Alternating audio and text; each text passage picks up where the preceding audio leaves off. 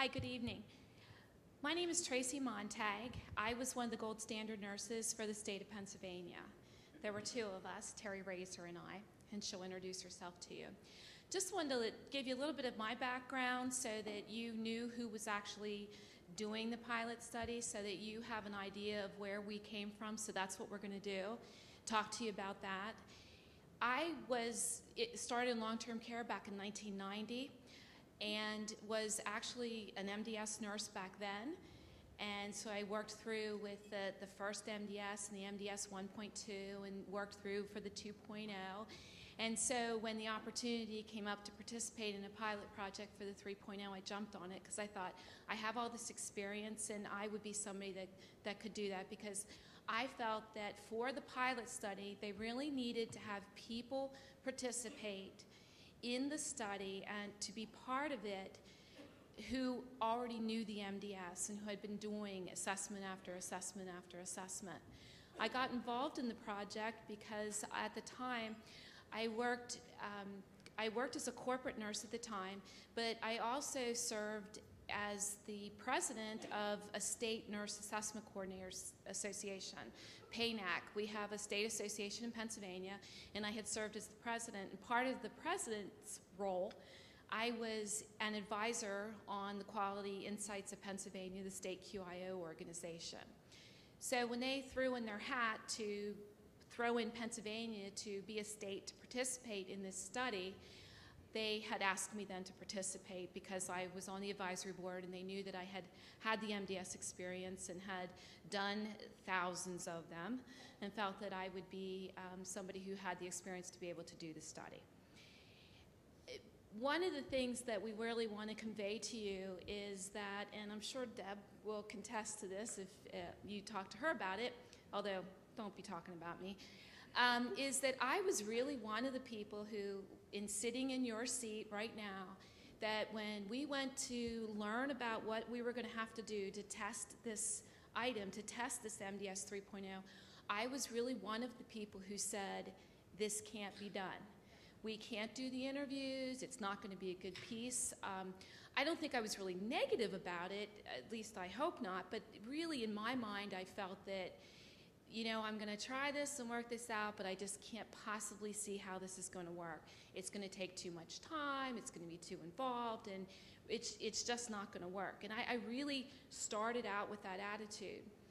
But once I got into it, and once we learned the interview pieces, learned the questions, it just went very smoothly, very quickly. And the best part about it is, with my experience with it, and I'm probably going to take what they're going to say to you is that with this instrument, we went into facilities. We had 10 facilities that we had to um, set up to do the pilot study in. They were facilities that, that Terry and I had never been in before. We didn't know their charts. We didn't know where they kept their documentation or how their documentation systems were set up. We certainly didn't know the residents or anything about them. We worked with the MDS coordinator part of what we were charged with doing was going in for comprehensive assessments only, going into the building and doing the 3.0 within 48 hours of the assessment reference date of the 2.0. What that did for the facility nurses, it charged them with having to have the 2.0 done before we walked in the door. So it was very stressful for them too.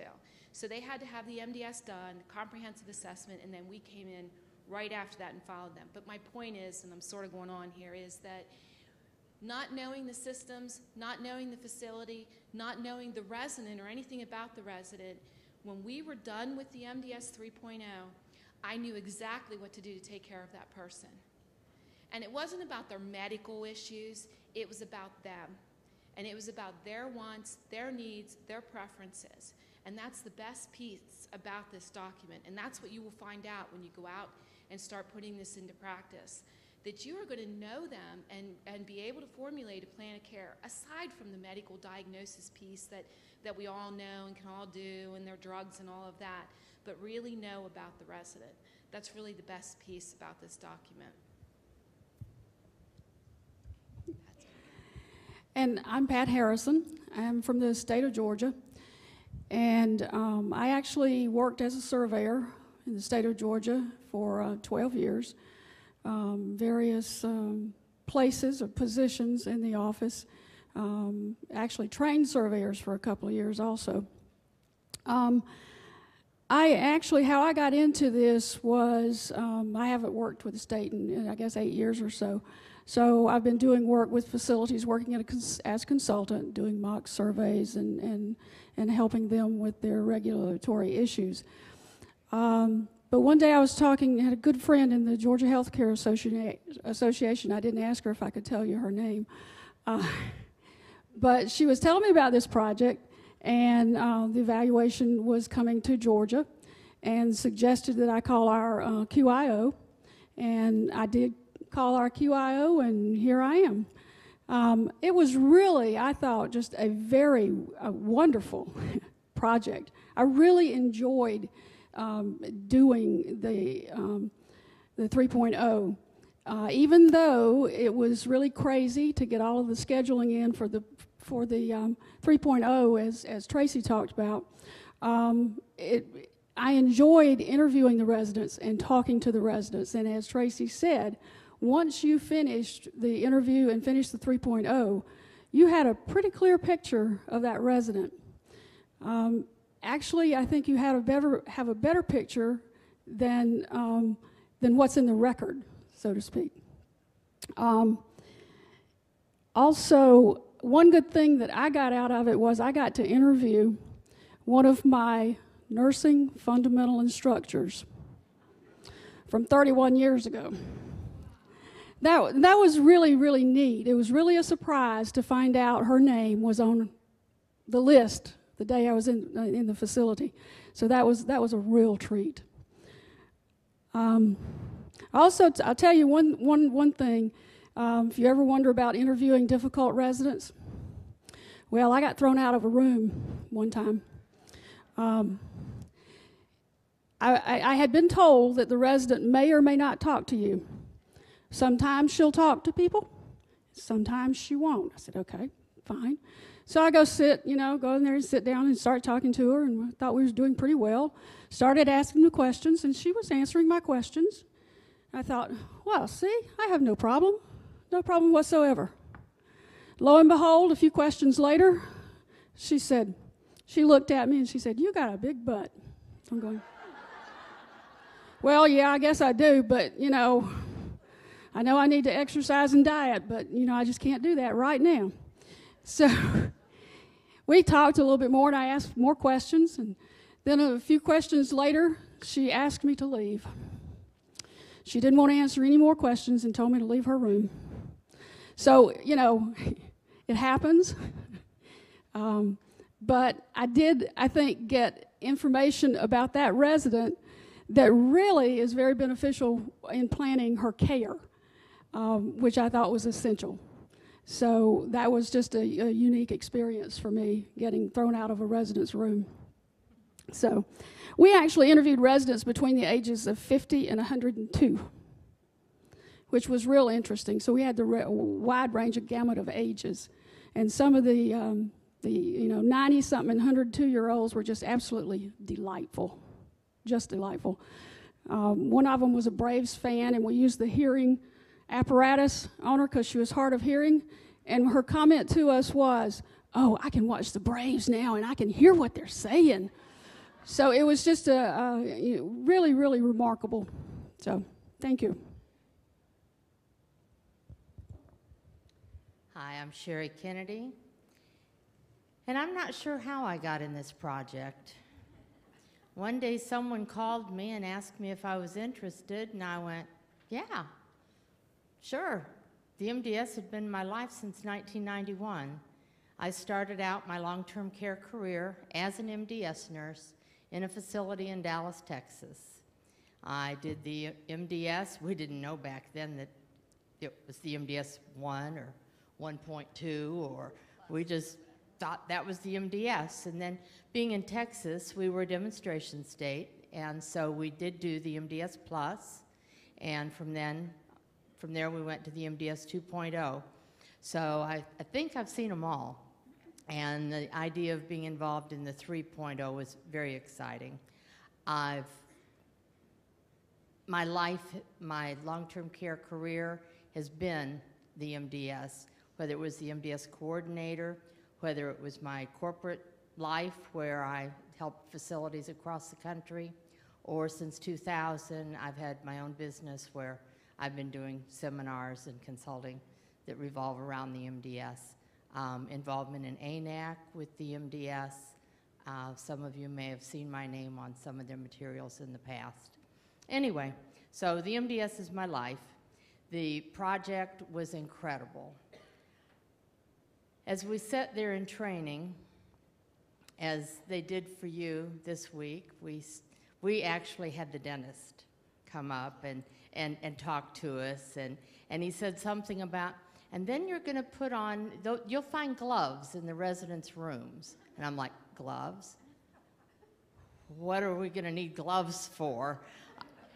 And at that point, I'd already received so much training that I knew there was no getting out of it. And so I was going to have to do whatever they told me I had to do. When we did our return demonstrations, and I'll, I'm going to let Terry tell you what turned me around on that one, but let me tell you, it was not a problem going into a resident's room and doing an oral exam. It was not a problem going into a resident's room and doing or asking any of the things required on the 3.0. The residents, this may sound strange, and I've not said this to anyone anywhere else, but it was almost like I was a doctor. It was like, I'm this healthcare professional, and if I'm asking these questions and wanting to do these things, then they were obliging and didn't question it. And so um, it, it, it was really well received by the residents. Um, the other thing that they, they trained on that I kind of gulped over was when they said that we were going to have to ask the question about harming themselves or that they that might be think they needed to be dead. And I'm like, we're going to ask them what? These are strangers. These are people we've never met before, and that's a pretty intimate question. When I was in the facility, I had a resident that I asked that question of, and he said yes, I would. He said my family would be better off without me, and it'd be just as well if I wasn't here anymore. I finished the assessment with him, went out and reported it to the nurse as we'd been instructed to do. And she said, Oh, no, not Mr. Jones. I said, Yeah, Mr. Jones. She says, Now, the Mr. Jones I'm thinking of, he's in room 101. I said, This man was in room 101. And she said, He always wears a red baseball cap. I said, He had on a red baseball cap. Really? Mr. Jones? He's always out here with a joke for the nurses every morning. He's got a new joke. And he's always the first one to volunteer to help push somebody into the dining room. She says, Wow, thank you for finding out. We had no idea. Never would have guessed on him. Last person we would have thought of. And so it was in seeing the results that made some of the things that I'd been most apprehensive about much easier, much easier to do. I've heard some of the others, as, as Tracy and, and Pat have eh, talked, they've talked about resident care and the data that we got from the 3.0 and how, how much that helped in developing the care plan, helped in de- determining resident care issues. I actually had a facility nurse who asked if she could continue doing the 3.0 after the project ended. And I had to say, no, you're still required to do the 2.0.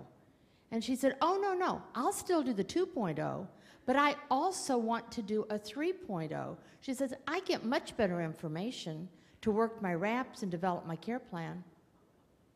So that's the best testimonial I can give you for the type of material that, and the type of answers, the type of data that you'll get from the 3.0. There were tears. I've never cried, well, I, I cried with one. Um, usually it was just the resident that cried, but one touched me to the point that we actually sat there and cried together. Um, the residents told me nobody has asked me, what do I think? What do I care about? They all just come in and tell me what they're going to do. And this is the first time anyone sit down and ask me my opinion. And I can't tell you how much they appreciated it.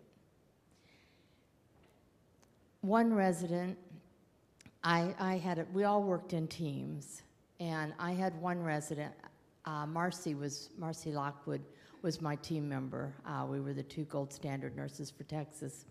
She came back to the room one day, and uh, she said, I just got done with uh, Smith, and his wife had to go out to the car, but she wants to be in there when you go in because she saw him respond to things that she hadn't seen any response from him in over two years.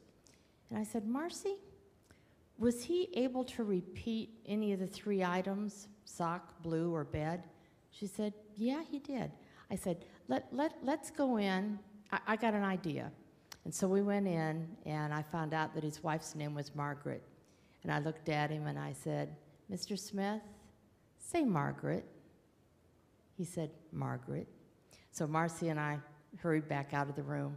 And after his wife came back, we went back in. And I walked up to him and I said, Mr. Smith, say Margaret. And he said, Margaret. Tears ran down her face. She hadn't heard her name from his lips in over two years. So, not part of the assessment, but just a simple gift that we were able to give. One other thing that I wanted to talk about is the fact that we kept asking for non interviewable residents. And they kept saying, oh, Miss Brown, she's non interviewable. We used the hearing device, we found out she was interviewable. We asked for someone else who was non interviewable. We used the cards with the answers, we got answers. She was interviewable. We asked for someone else who was non interviewable. She sat there and said, Yes, yes, yes. We're looking at each other going, Does she really mean yes, or is she just saying yes? And then she said no. And so we went back over and we repeated the questions. And again, we got yes, yes, yes, no. She was answering our questions. We bonded with these residents. We, we knew more about the residents than the facility they were living in knew about them by the time we left after doing one assessment. You're up. Testing? Okay. Hi, my name is Terry Razor, and I've been in long-term care for a long time, um, since actually 1981. I started um, as a floor nurse, as many of you, I'm sure, and then once the MDS came about, um, I jumped in on that and have been doing it ever since. I currently work and manage uh, an RNAC temp agency in the state of Pennsylvania. Um, Tracy's other half of the uh, Pennsylvania Gold Standard Nurse. And um, I've been doing this for such a long time, it seems like second nature for me, um, doing the MDS and doing education and training and consulting and making sure that my RNACs are doing what they're supposed to be doing and that we are looking at um, the resident as a whole. And going back to 1990, when the MDS started and CMS was looking at the reason for us doing the MDS was to assess the resident to make it a standardized, reproducible um, form. So, and the reason they put that out is because the quality of care needed to improve. And we needed to look at the resident as a whole and to look at them as a person. And that's how it started. And then I think it kind of down the road got kind of lost in the reimbursement system. And when I heard about the MDS 3.0 coming into play, and the, the way that I heard about that is I was working for the Quality Improvement Organization for the state of Pennsylvania. And when I was working for them, that's how we heard about the MDS 3.0 coming out and that they would need, um, if Pennsylvania was elected to be one of the states to participate, that they would need two gold standard nurses. And I, of course, jumped at my boss and said, me, me, let it be me, you know, because I've had lots and lots of experience. I love doing this job. I love taking care of the residents and learning about them. And really looking back at the process from the beginning is that the MDS is a minimal data tool. And but if you use it the way that it's really designed to be used, is that you're gathering information, you're putting it on the MDS, it triggers things that leads you to writing your care plan, and it really does drive the care plan on the care of your resident. And I think over the years, like I said before, with reimbursement, with the survey processes, with quality measures, with publicly reporting, I think we lost the focus of taking care of the resident and why we're doing this MDS and who's important. So when I heard um, about the resident voice being um, one of the major things that's going to be in the MDS, um, the interview part, I was very excited about hearing about that. Um, some of the experiences that I had when I was doing the pilot test, um, I'll talk about the dentist um, who made everyone do, demonstrate back to him that we knew how to do an oral assessment so that when we did our training in the facilities that we could train those nurses how to do it accurately. And I really think that in our group, I was the very first one that had to do it. Yeah. I was the first one. And so I put on the gloves and we go in and we meet the resident. And of course, he's standing there watching me. And you know, you explain everything to the resident what you want to do. And she was very cooperative, thank goodness. And but the very first thing that I saw when I had my pen light looking up in her mouth, in the roof of her mouth, she had this large, I would say three centimeter mass in the roof of her mouth that no one knew about. And I said, Do you know that you have like a mass in the top of your mouth? And she goes, Yeah, I rub it with my tongue all the time. I said, Well, have you told anyone that that's there?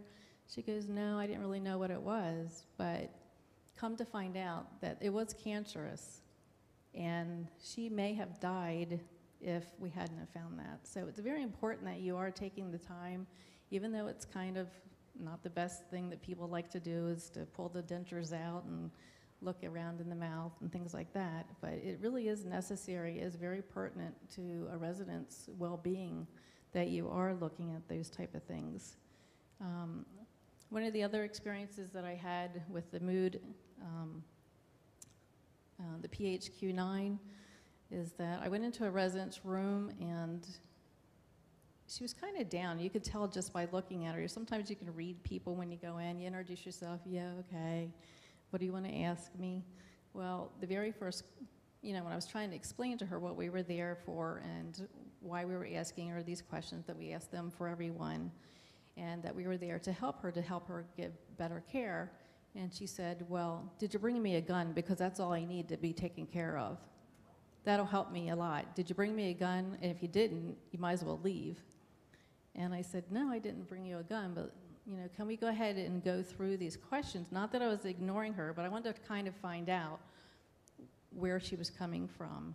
And the more that we went through the questions and answers, this woman was severely depressed, and nowhere in the chart was there anything about depression.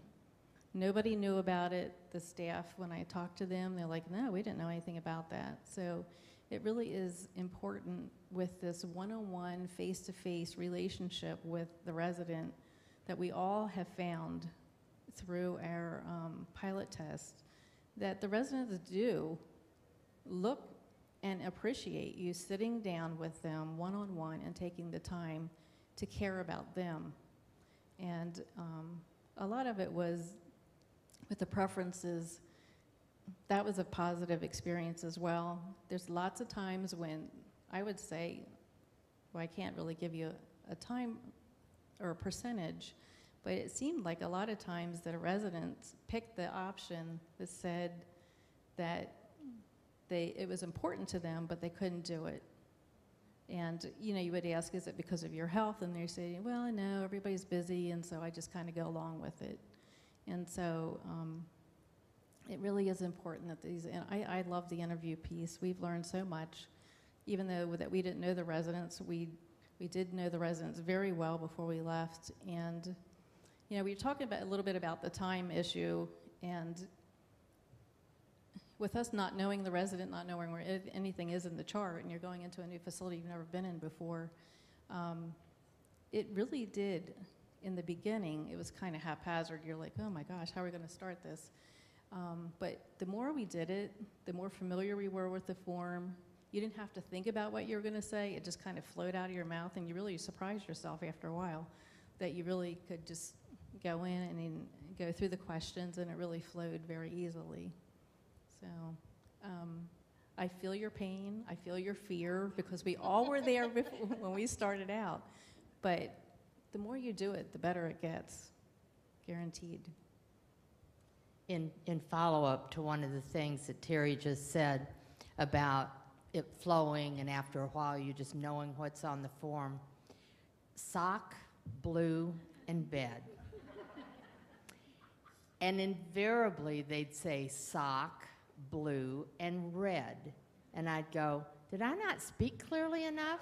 So immediately I learned to enunciate very, very um, clearly the word bed and not red. Um, to, so that then if they answered red, I knew they just weren't getting it. And then after a while, I got just so comfortable with it that I said, I'm going to say three words and then I want you to say them. Uh, they're sock. She said sock. I'm like, oh no. She just invalidated the test. She was supposed to wait until after I said all three, but I didn't read it from the form. I didn't say it exactly like it was written on the form. And so I didn't get the answers I was supposed to get. And so I didn't get quite as comfortable with just, I stuck to the form after that. That's one thing that's really helpful is the scripted pieces. If you follow the script, it'll you'll be able to go right through it. Just follow what it says with the script and explain to the resident why you're there. Um, it does. We, I mean, it, it flowed easily, but we did always have the script with us. We took the MDS, and I guess that's the other thing that they've been trying to stress. You know, the 38 pages. Everybody's looking at it. Everybody I've talked to, because I'm a consultant now, and so places that I go, they're very freaked out about the 38 pages but it it's, has skip patterns in it. The font is larger. So what we used to do is we actually would mark the interview sections with little tabs so that when we go into the residence room, we could go right to the interview sections from the tabs to be able to pull it through to get it to go easier. So that's just a, a little tip if you start to do it on paper versus doing electronically at first. We found that it was easy to, to mark where our interview pieces were going to be so that we could go through and, and do that piece with it. But following the script was really helpful. And I think um, what we want to do is to open it up for some questions. If you, we have lots of stories about what we did, but we really wanted to. This is really to help you. So if any of you have any questions, um, we'll take some questions.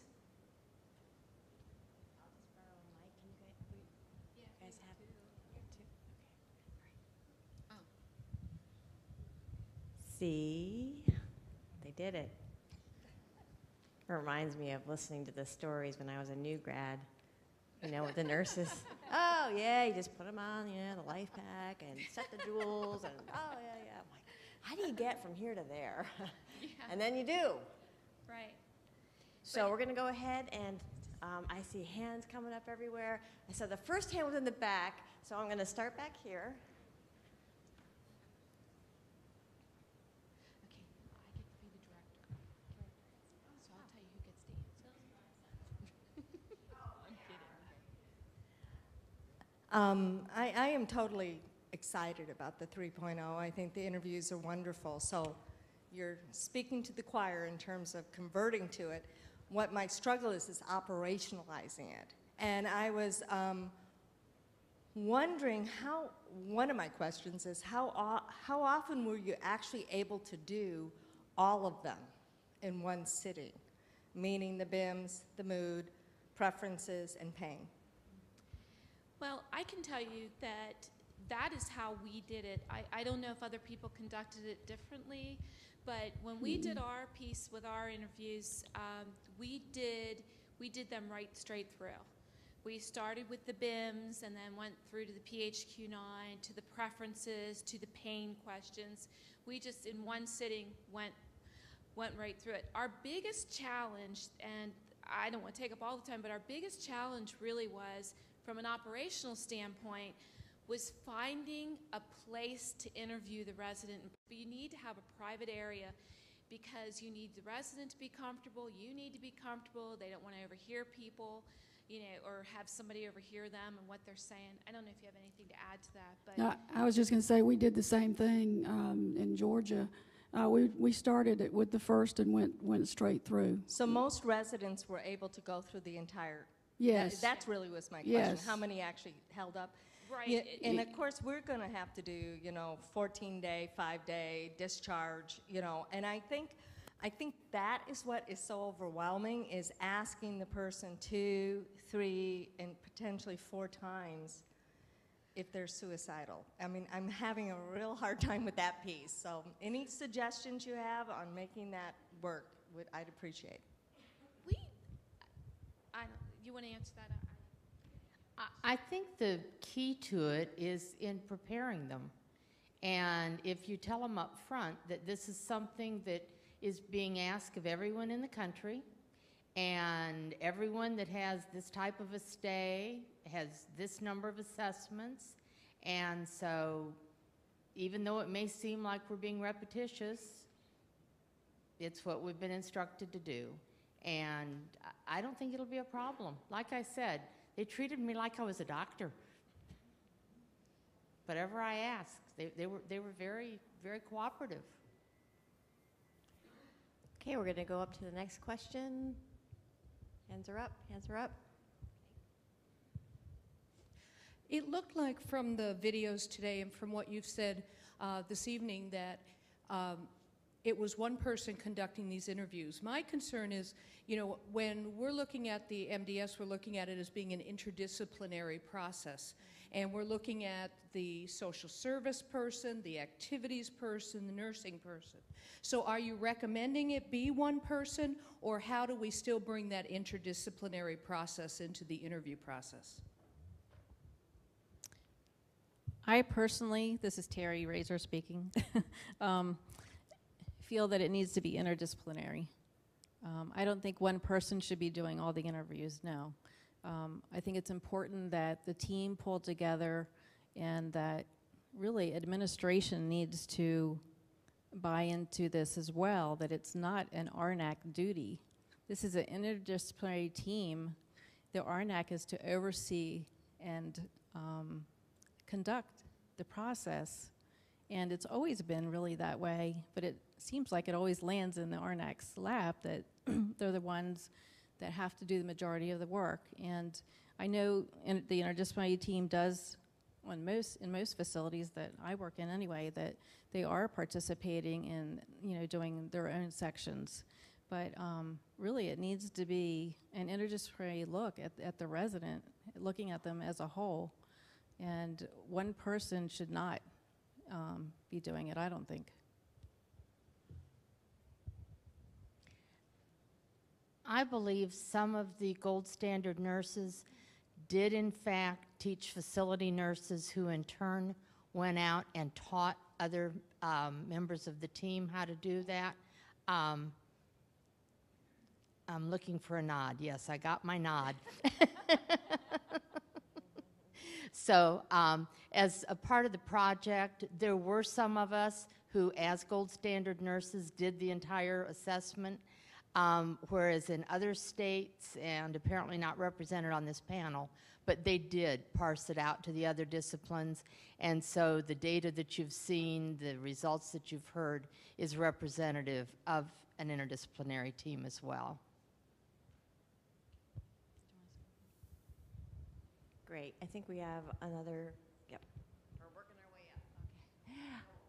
Um, I think practically, I mean, when you talk about the time and everything, uh, you can triple the time if you, if you make it interdisciplinary. And I think logistically, uh, people are going to have to figure out whether that's going to be feasible. Because if you're going to get all these people together and they're all going to go in and do their little pieces, it is not going to be some average 17-minute process like you guys had.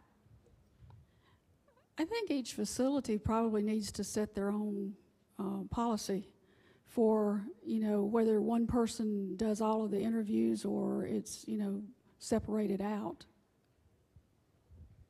The other piece operationally, um, since that was one of the, the questions with it, is that I feel strongly about, this is just Tracy Montag, is that as the management team of the facility is making sure you have the right person in the right position. And I mean that by you need to have people in your facility that are buying into this, first of all, but you need to have people that are willing to talk to the residents. And I know that that sounds like, well, everybody should be able to talk to the residents. I'm a consultant, I'm in 100 buildings, and I know that the MDS coordinator at RNAC, that we call them in Pennsylvania, I know with the, the movement of the electronic systems that there are RNACs, MDS coordinators that can sit in an office and do an entire MDS without ever walking out of their office. You know, and I know that that happens. It was never intended to be that way.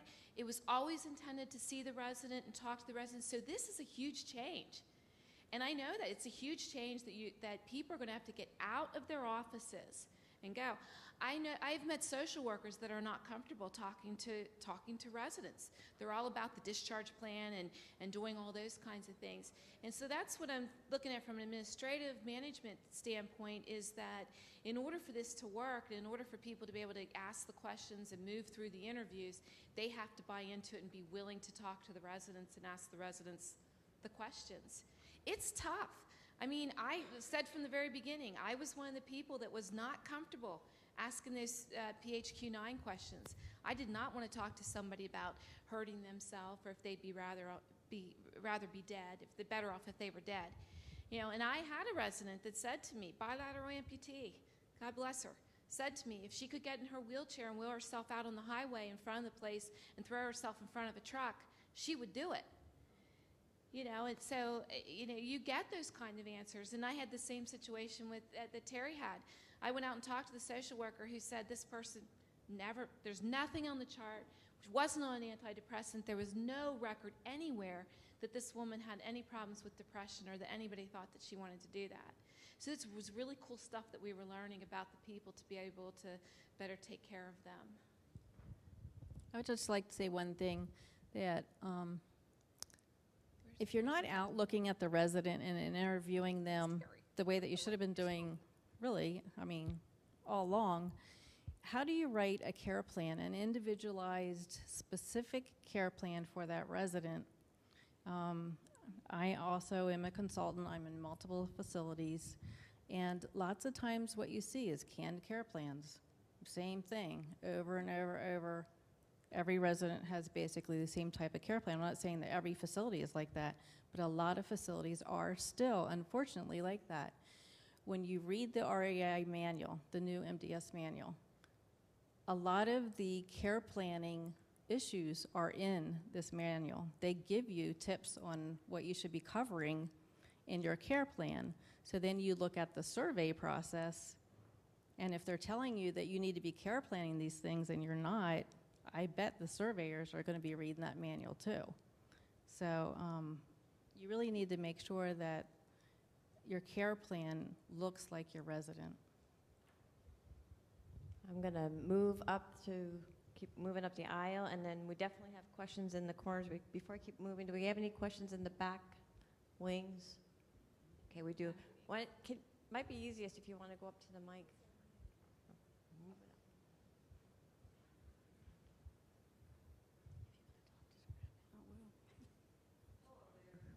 Can you hear me? No. Is the mic off?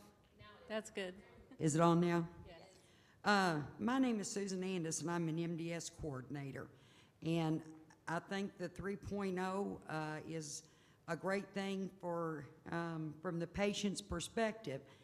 Uh, on the other hand, I have to stop and think you know, the days that I have uh, six admissions, uh, two quarterlies, three discharges, you know, and the company on your back, you know, over reimbursement, which unfortunately reimbursement is a part of, you know, the 3.0, and we all have companies that, you know, worry about the bottom line also. Um, so my concern is, you know, how am I going to get all of these done with taking a look at what we have to do on a discharge now? It's not just, you know, one paper or to discharge somebody prior, you know, it's not on a Medicaid patient, it's not one paper, it's almost a full assessment. You know, that's a lot. I mean, I don't know what we need to do as MDS coordinators. You've got Medicare people coming in and out. You've got rehab people coming in two days.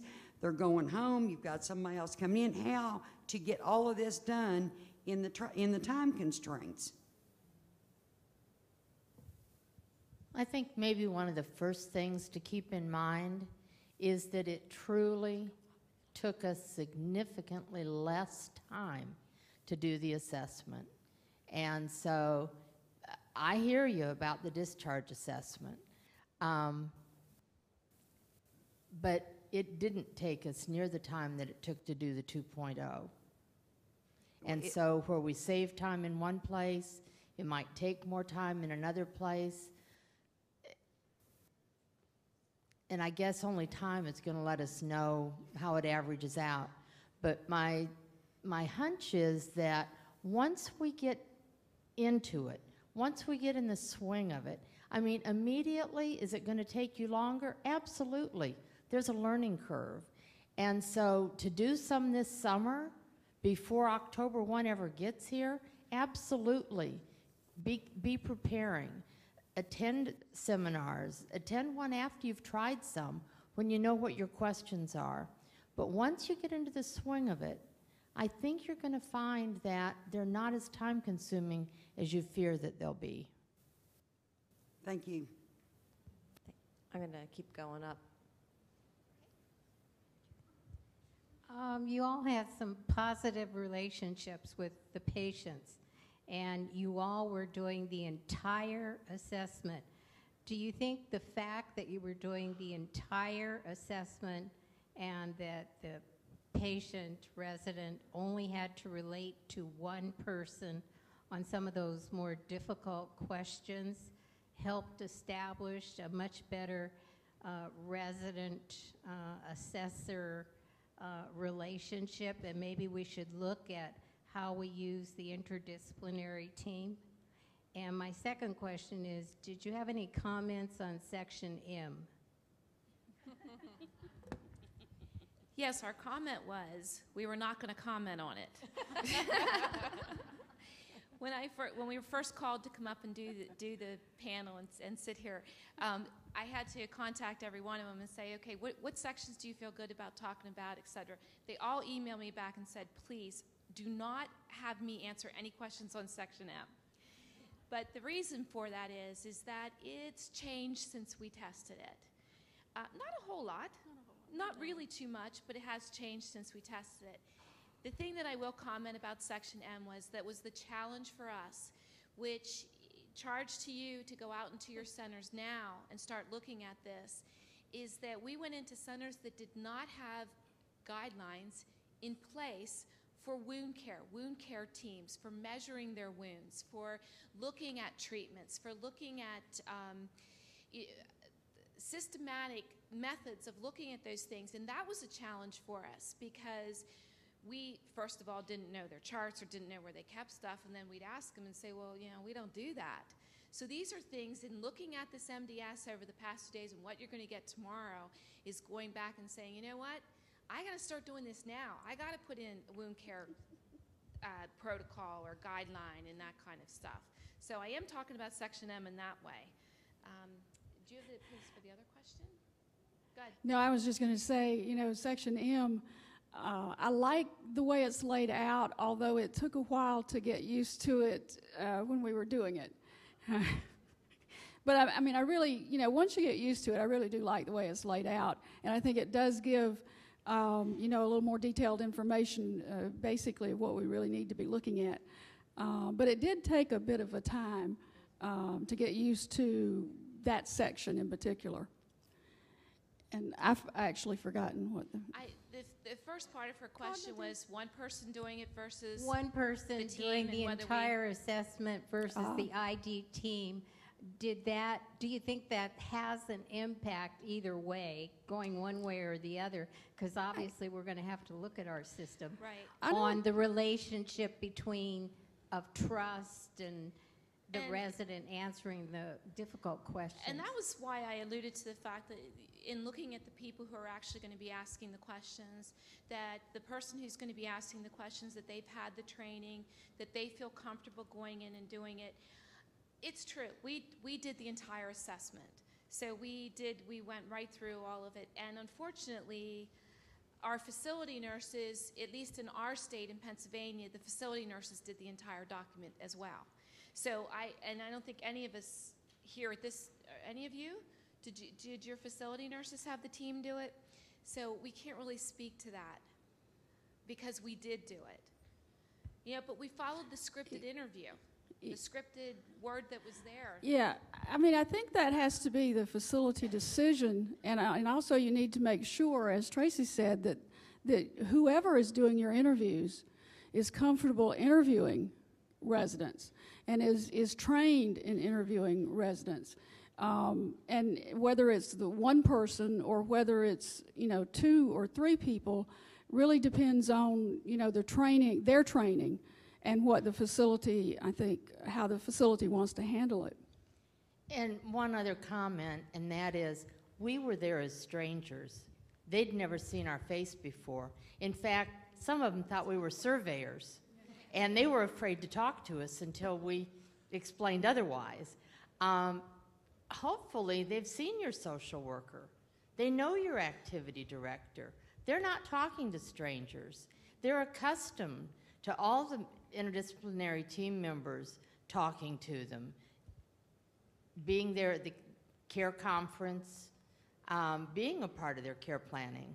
So I, I, I don't see where breaking it up should create any kind of a problem at all.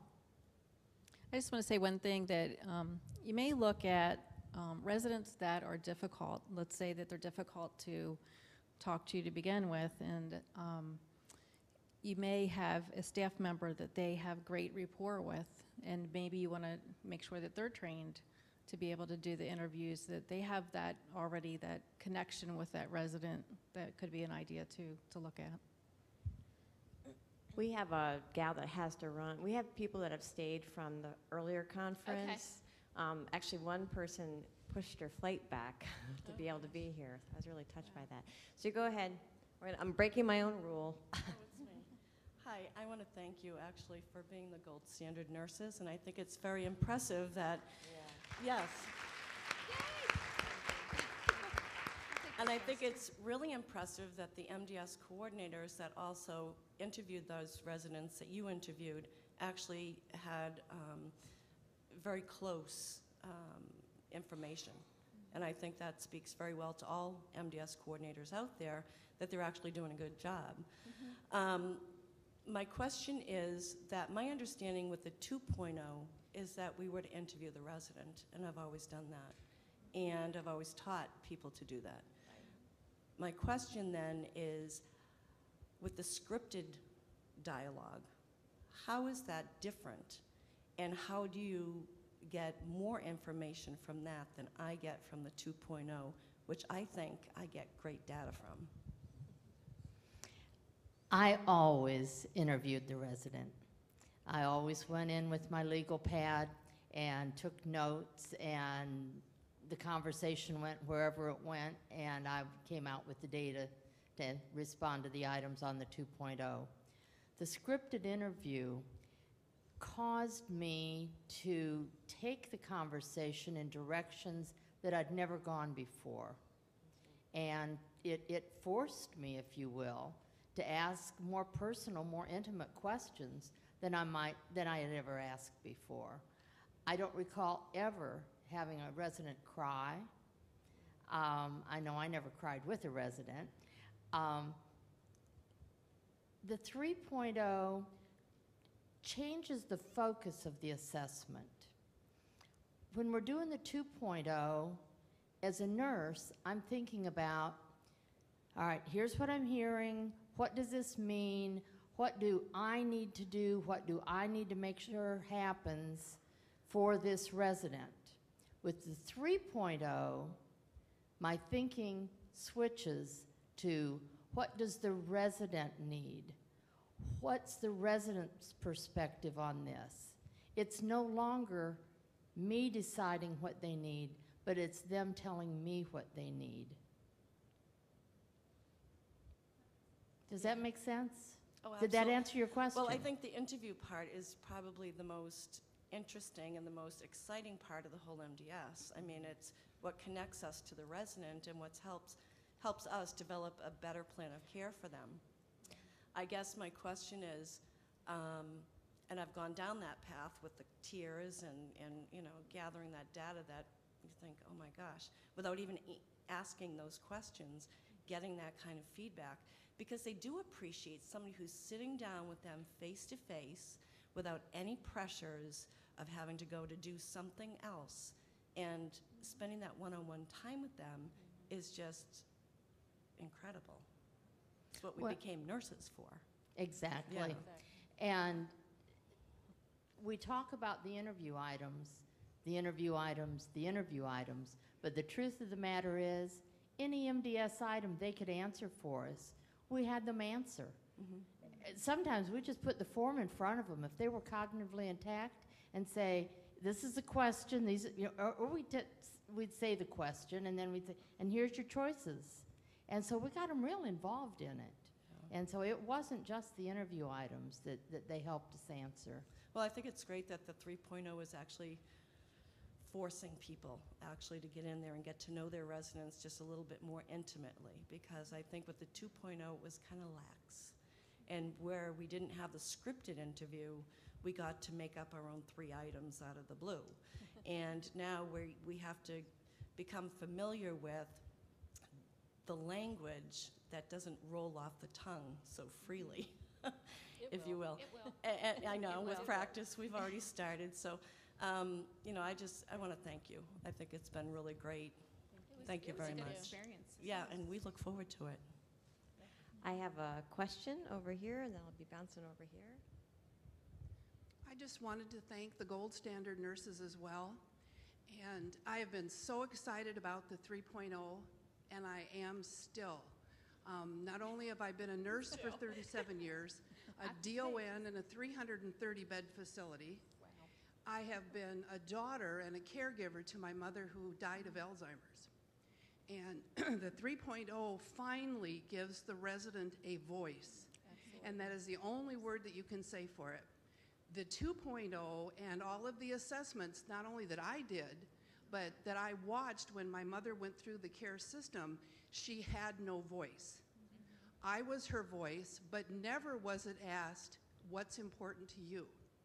And we talk about operational, you know, how are we going to do this and what time is involved, but the assessment is really about the resident. In the end, it's about the resident. At the end of our eight or 10 or 12 hour shift, we go home. But the resident stays in that facility and they stay within their body and their incapacities to what level those are. And the 3.0 forces us to, to give more than lip service to being resident centered. For a resident to look at you and say, Nobody has ever asked me what's important, that's a sad commentary on where we are, but it's also an extremely positive on where we're going. And thank God we're headed that way because our elders deserve it. And approaching elderly myself in a few years, I appreciate that somebody's going to care what's important to me. Thank you very much. Thank you.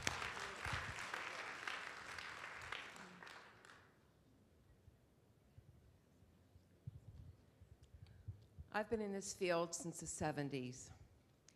And I can just tell you, as a medical record consultant, um, being here since Monday night and listening to you all, I have to say that um, I finally feel inside that those 38 pages might be paper, but we're going to go away from paper care and we're finally going back to patient care. Amen. And even though it's paper or whatever we're filling out, the outcome is that that person in the bed is finally being thought of.